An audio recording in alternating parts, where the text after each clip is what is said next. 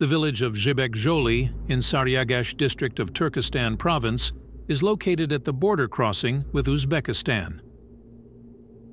On July 13, 2023, a terrible thing happened in this rather busy village. On this day, a local resident applied to the district police department with a statement about the disappearance of her five-year-old daughter. Yerkezhan Nurmakhan went out into the street and disappeared. At 13 Fao, the girl asked her mother Indira Yerembetova for a walk. Yerkezhan was in the woman's field of vision, but when her mother was distracted for only five minutes, her daughter disappeared. At 1.10 p.m., the woman had already gone after her and started looking for her, but her daughter was nowhere to be found. Indira ran down the street and called her little girl's name, hoping she would hear her voice and respond. The worried mother ran to the houses of her neighbors and asked if any of them had seen her daughter. But, unfortunately, every time the answer was negative. Without thinking long, Indira informed the girl's father and ran to the police to write a statement. While the mother was writing a statement, the girl's father, Nurjan Erezhipov, immediately went to the neighbor's house, but found nothing there but a drunken man. Why the father went there in the first place, it turns out there was a reason. Saidolim Gaibnazarov was a neighbor of the family. Everyone in the village knew about his criminal past. The man had been tried twice, the first time for murder, the second time for intentional infliction of grave harm to health. For the latter offense, received only three years of restricted freedom. That's why the girl's father went there first, but didn't find anything. Soon, fellow villagers joined the search. According to her mother, she first looked for her daughter behind the fence to see if she had been carried away by the current of the ditch. Indira was sure that no one had taken her daughter, and she could not have gone far away. Near the family's house there is a store with a video camera, and the girl's mother went there to watch the video recordings. The camera did indeed capture the girl walking out of the gate from her yard and heading somewhere. Unfortunately, the angle of view of the camera was small, so it was not possible to see where exactly the girl went next. At 1302, the girl appeared in the range of the camera and then disappeared. Sometime later, it became known that one of the neighbors of the Rezhipov family had a video surveillance camera installed on the house, which had a good view of the road, and therefore should have captured the girl walking along it. Unfortunately, reviewing the footage from this camera yielded nothing. Yerkezhan was not on it. Given that the grocery store and the neighbor's house, where the surveillance cameras were installed, were located just a few houses away from each other, it was a logical conclusion that Yerkezhan had not moved far from her house and was somewhere nearby. But where to look for her? The girl seemed to have fallen through the ground. By evening, it seemed that every corner in the settlement had been checked by people. Residents searched all over the village, but the little girl seemed to have disappeared, leaving no trace. More and more people joined the search for the girl, and some approached her parents to share their guesses which coincided with Nurjan's. The locals were sure that if the girl was not seen on other CCTV cameras, then she had not gone far from home. And since a dangerous man lives near them, perhaps he has something to do with this story. Once again, Father Yerkezhan goes to the house next door. This time, several men go there with him. And again, nothing. There was no one in the house except the dead drunk neighbor no trace of the little girl was found there either.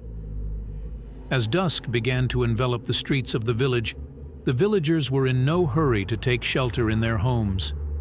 Instead, they were preoccupied with the search for the young daughter of Indira and Nurjan, who were gripped by despair.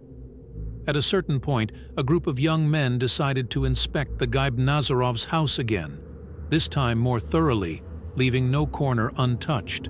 Yerzhan Akhmetov and his friends went to an old, dilapidated house. At first, it seemed that their efforts were in vain, and that they were only wasting time exploring this gloomy place. As they were about to leave, one of them noticed a small pink spot among the piles of trash. He pulled at the edge, and soon a pink baby dress, was in his hands. Later, Yerzhan will remember how they were all gripped by terror and fear, and how their heads were filled with dark thoughts. But at that moment, they pushed them away, hoping to find the girl alive. One of the friends stayed in the house to look after the drunken neighbor, and Yerzhan and another friend went up to the attic, the last place where they had not yet looked for Yerkezhan Nurmakhan. There they found a slate. Yerzhan stepped on the slate and saw the girl. She was lying motionless, covered only by the slate. It was immediately clear that her death was violent. There were bruises and abrasions on her body, especially on her face, as well as numerous stab wounds. Witnesses would later report that there was not a whole spot left on the girl's body.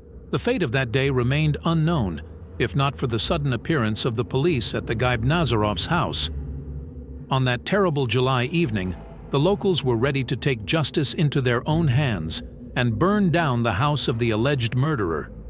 But the police managed to evacuate the suspect and calm the agitated people. The suspect in the Yarkij Nurmakhan murder case was placed in a temporary detention center. The police opened a criminal case under the article on murder and appointed the necessary expertise, as well as started a pre-trial investigation. The detainee did not deny his guilt and admitted that he was very drunk that day and did not realize his actions. He claimed that at some point he heard the voice of a child playing in the street, which turned out to be his neighbor's five-year-old daughter, Yerkezhan. Gayab Nazarov claimed that he seemed to have lost his mind and, using various tricks, lured the little girl into the yard of his house. Further events of that terrible July day were established by experts. According to their conclusions, Gayab Nazarov abused the girl and then, probably in order to hide the traces of a serious crime, killed her. The tragic death of a little girl shook the entire country. Hundreds of people came to see her off, and angry villagers accused the court and police of failing to isolate a dangerous criminal who had been detained several times before. Security forces on duty in the village blocked a crowd intent on burning down the suspect's house. It was not an easy task to calm down the furious people. On the same day, the General Prosecutor's Office announced the filing of an appeal against the lenient sentence previously handed down to the defendant.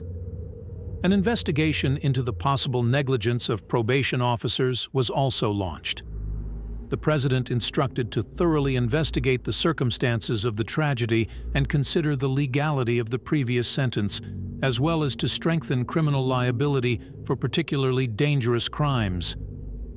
It turned out that during the preliminary investigation, the injured party forgave the defendant, who compensated for the damage, and asked not to impose a strict punishment. Unfortunately, this decision led to the death of the child. The relatives of the murdered girl are sure that in this case he did not act alone, but in collusion with other persons. Investigators promise to give final conclusions after forensic examination. The villagers are still afraid for their children, fearing that the other accomplices of the crime are at large. At the trial, Gaib Nazarov stated that before the tragic events, he had been on a long bender, so he does not remember anything. But during the investigation, he said that he was angry, and when the girl started crying, he decided to kill her. He strangled the child and then stabbed her with a knife. Gaib Nazarov admitted the charge only partially. That is, he agreed with murder, but not with rape. Although all the expert examinations were conducted and the analysis of biological fluids left no doubt as to who they belonged to, at the final trial, Gaib Nazarov behaved calmly and even aloofly. He asked the judge not to impose a strict punishment. When asked by journalists whether he regretted what he had done, the pedophile did not answer, only apologized to the girl's parents, but according to them, it sounded sloppy and insincere. He apologized for killing our daughter, but what good is that to us? You can't lighten the sentence. He must be punished for life said the father of the murdered girl. The court found Gaib Nazarov sane and guilty of committing crimes under Part 3 of Article 99, murder, and Part 2 of Article 121. violent acts of a sexual nature of the Criminal Code of the Republic of Kazakhstan. He was sentenced to life imprisonment and chemical castration, and he is also obliged to pay moral damages to the injured party in the amount of 100 million tenge. Support the video with a like and the channel with a subscription. And all the best to you, be careful.